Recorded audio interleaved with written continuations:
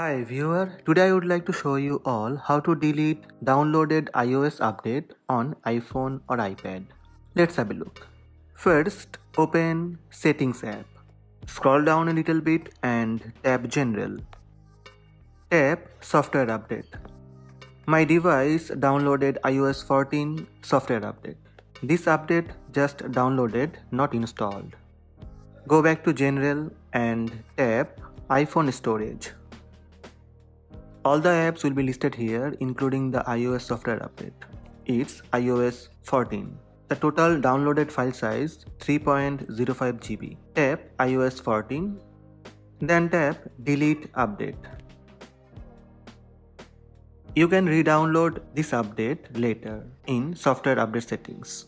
Tap delete update and confirm that you want to delete the update. That's it. These are the steps to delete downloaded iOS update on iPhone or iPad. Hope this video help you. Please subscribe my channel by tap subscribe button. Also tap the bell icon to receive notifications about all new videos.